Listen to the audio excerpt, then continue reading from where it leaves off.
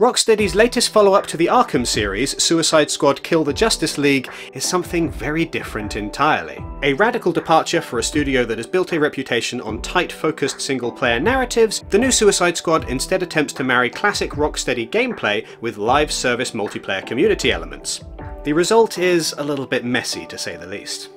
Despite its, or perhaps because of, its status as one of the most anticipated games of the year, Suicide Squad has received something of a negative reaction from fans, many of whom have flooded the internet with comments saying that this game just did not live up to their expectations. Indeed, the writing has been on the wall for a while, with fans expressing concern that the project didn't seem to live up to Rocksteady's normally very high standard of quality. Before I go any further into this, I want to say an enormous thank you to my friend James, aka Hot Cider, who has helped tremendously with this project. Not only did he film all of the gameplay footage that you see see in this video. He also bounced some ideas back and forth with me uh, as I was working on the video script and gave me some excellent quotes that you'll be hearing later on. You may not know Hot Cider by name, but you've definitely seen his work because he is the go-to guy for video essay thumbnails in the video game sphere.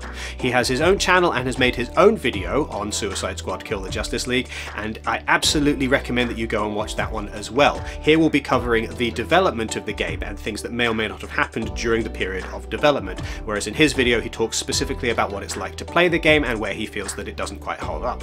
If I were to pick either this video or his to watch, I would probably recommend watching his instead, but then that's because I don't like looking at my own face. Someone in the comments already typing, yeah, I don't like looking at your face either.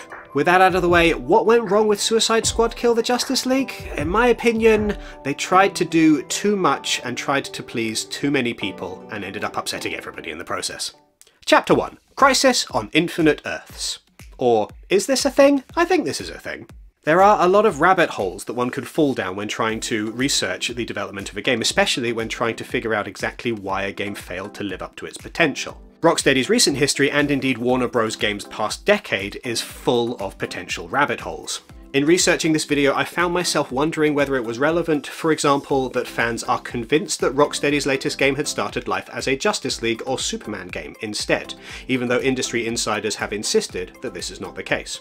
Or is it relevant, for example, that then head of DC Geoff Johns announced a Suicide Squad game all the way back in 2012 when people assumed that it would tie into the David Ayer Suicide Squad film that released in 2016? Is it relevant then that Warner Brothers has been trying to get a Suicide Squad game out the door for over a decade at this point, whether or not they've got the resources in the studios available to do it? That being the case, is it then relevant that Warner Brothers Montreal, the developers of Arkham Origins, were at one point making a Suicide Squad game before that project was cancelled and Rocksteady started work on their own game? Is it relevant that Rocksteady co-founders Sefton Hill and Jamie Walker left the studio in 2022 and the game was mostly but not quite finished? Is it relevant that the game was delayed in 2023, ostensibly to add an extra level of polish immediately after an early preview led to widespread online backlash? And perhaps most alarmingly of all, is it relevant that in 2018, 10 of the 16 women employed by Rocksteady signed a letter calling out workplace harassment and a toxic environment? Or that former Rocksteady scriptwriter Kim MacAskill has since publicly claimed that she lost her job as a punishment for writing that letter, and ultimately asked her name to be removed from the credits of Suicide Squad Kill the Justice League, and withdrew from consideration for the Women in Games Lifetime Achievement Award because Rocksteady is one of the award's more prominent sponsors. Is any of this strictly relevant? Hmm, perhaps, and perhaps not. It's difficult to be certain, and it's easy in hindsight to filter Rocksteady's rather tumultuous decade through the lens of an unpopular finished product. If Kill the Justice League had released to widespread critical and commercial acclaim, no one would be particularly concerned about reports of lead developers leaving the project, or machinations within Warner Brothers, or even toxic workplace harassment complaints. These things are just part of game development. If the end product turns out well, the ends justify the means, right? As it is, the Suicide Squad game has fallen short of many fans' expectations, and with that comes a desire to find someone or something to blame. How much weight I really want to ascribe to any of the aforementioned factors is difficult to say, except that the kind of behaviour reported by Kim MacAskill is inappropriate in any workplace, I don't care if you really are making the best game ever.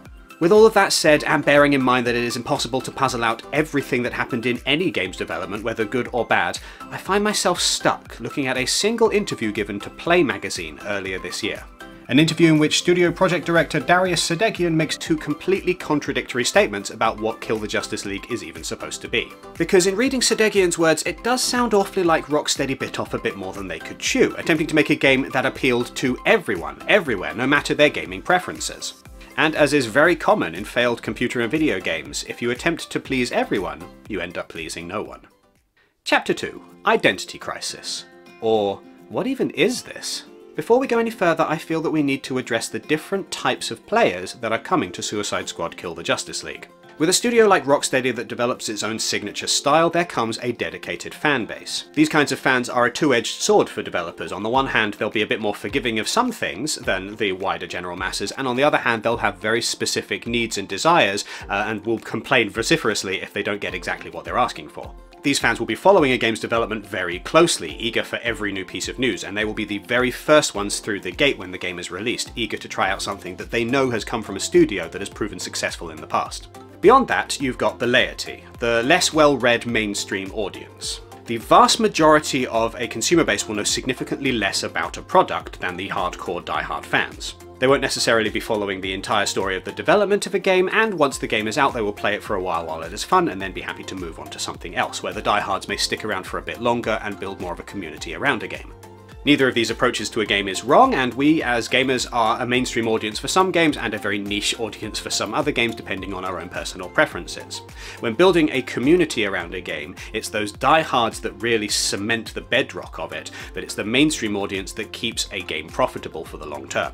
Of the two groups, it is the mainstream gamers that make up the vast majority of the player base, and for that reason game studios often will aim at a mainstream audience first and foremost, and that can sometimes be to their detriment. After all, the diehards are probably going to buy your game either way, so you don't really need to worry too much about what they think of it, and even if they are turned off by a completely different radical change in the gameplay style, it doesn't matter because they're a small piece of the pie compared to that wider mainstream audience. In making Suicide Squad Kill the Justice League, Rocksteady were definitely attempting to appeal to a mainstream audience, and were also attempting to appeal to their hardcore fans, and herein lies the problem because the incumbent Rocksteady fan base were interested in a tight, focused single-player narrative, and Warner Brothers Games were interested in appealing to a wider fan base, a wider audience who were less tolerant of long cutscenes and just wanted something where buddies could kind of pal around together and joke and, and explore in a space that didn't feel too bogged down in continuity.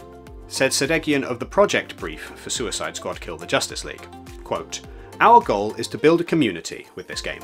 We want each player to feel like they're a part of Suicide Squad, and more broadly, a global Suicide Squad community. This has been at the core of our development, and the game has been built from the ground up as an experience that can be shared with friends.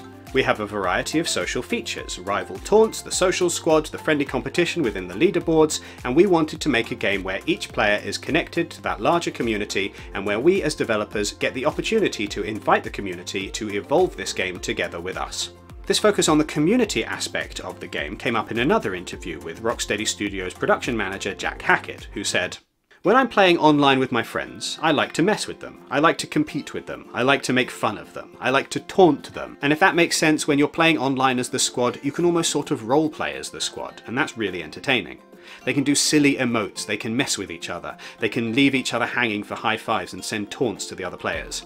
I think that's a fun atmosphere to let people inhabit in a comic book world. Play with their friends, have fun, poke fun at each other, while still living authentically in that comic book world and feeling like you're inhabiting it. This is the kind of game that Rocksteady was building this time around, a game filled with co-op player interactions, with banter and taunts and pally jokes so that a group of friends can play this game endlessly night after night without getting bored. This game was meant as a community hub, and in this kind of game, the story, the characters, the narrative all kind of fade into the background to allow the players to fill in as much of their own story and narrative as they choose. And you know what? I imagine that if Rocksteady had just stuck to making that kind of game, they might have got a better reception from Suicide Squad Kill the Justice League. If they had actually fully committed to making something that was entirely devoted to online play, to cooperative play, to friends just getting along together and having fun, and not really worrying about the story or the environment or the wider context of why they were doing everything, then I think that this game probably wouldn't have necessarily appealed to that hardcore, dedicated Rocksteady audience, but would have found more widespread mainstream appeal.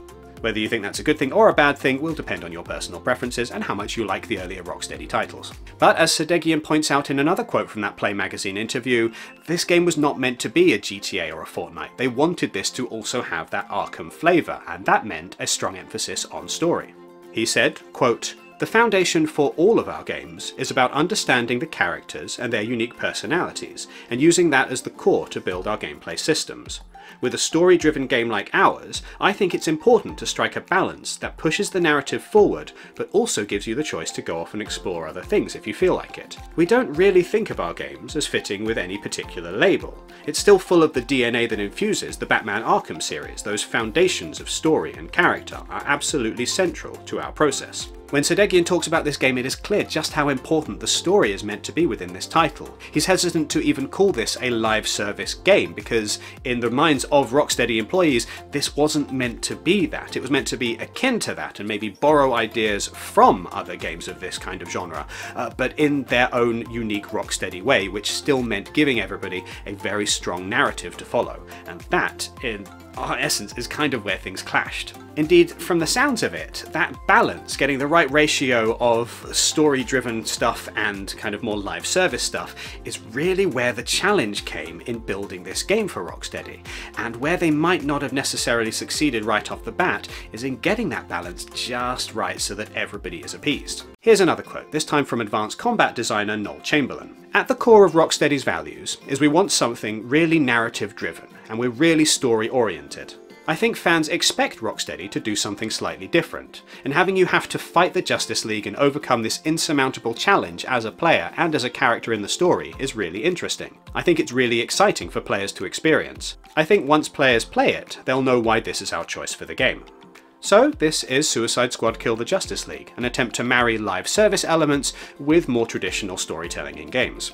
That's a difficult balance to get right. There are not many games that really manage to marry the kind of co-op buddy type gameplay of a live service game with the kind of sprawling narratives that Rocksteady is famous for. Too much narrative, too many cutscenes, and it's going to drag for people who really just want to play with their friends. Too little of those things, and it's not going to feel satisfying or weighty enough for the fans who really just want a classic Arkham game.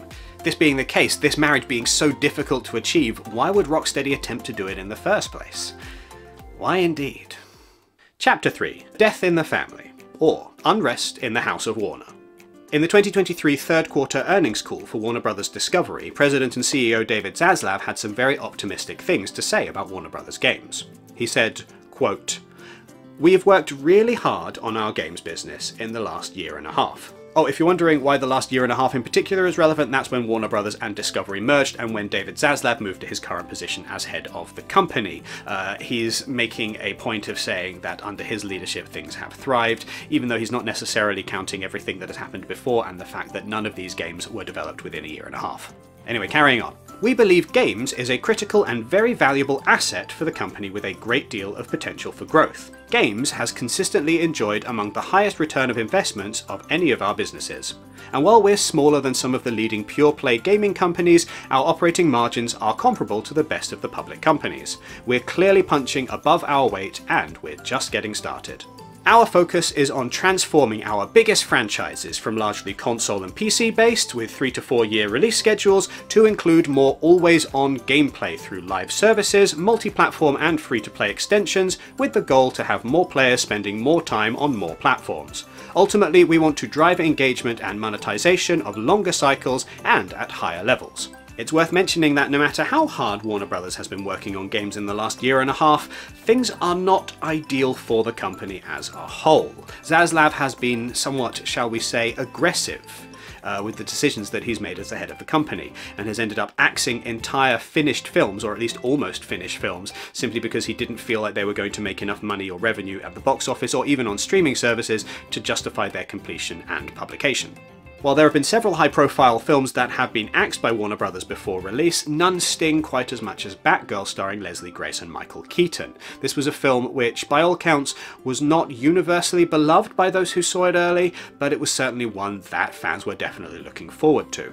While this is tremendously disappointing for comic book fans, you can kind of see where Warner Brothers is coming from given that only one of their superhero films released since 2019 has made more than $500 million at the box office, that one being The Batman starring Robert Pattinson. This indeed is not just a Warner Brothers problem. Marvel Studios also had a particularly bad year in 2023 amid rumblings and concerns among the industry that maybe fans are just kind of over superhero movies in general. This certainly does not just extend to comic book films. Uh, Spider-Man 2 has done very well for Sony, but Marvel's The Avengers hasn't really gone down very well, and just so happens to also feature a large number of live service elements.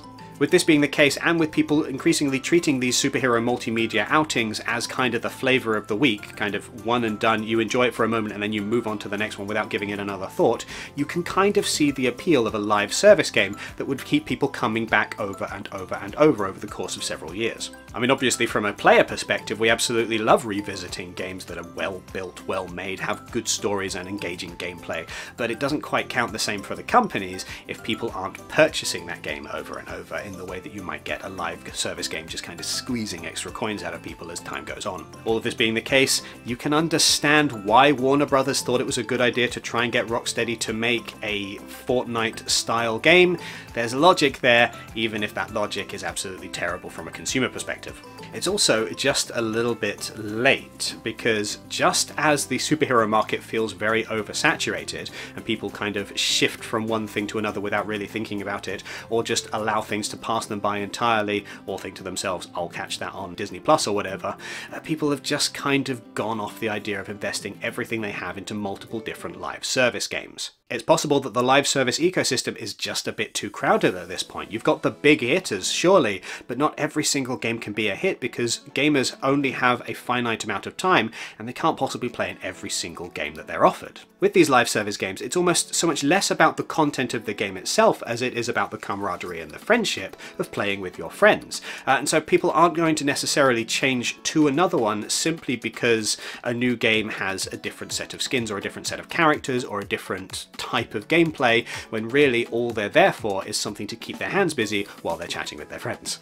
I mean, maybe I'm oversimplifying things, but personally, when I play a multiplayer online game, I play for my friends rather than for the game itself. I couldn't actually care what we're playing, I just want to spend time with people that I like. Indeed, it's telling that in 2023, a lot of attention was heaped onto single player focused narrative games. Games like Spider-Man 2, a superhero game, but also like Baldur's Gate 3, which doesn't feature any live service elements at all. It's just pure solid single player action. And there has been something of an increased desire and demand for these kinds of games games, almost as a response to the proliferation of live service titles. Indeed, in his earnings call, David Zaslav made a point of drawing attention to one of Warner Bros. biggest games of recent years, Hogwarts Legacy, which just so happens to be a single-player narrative-focused game.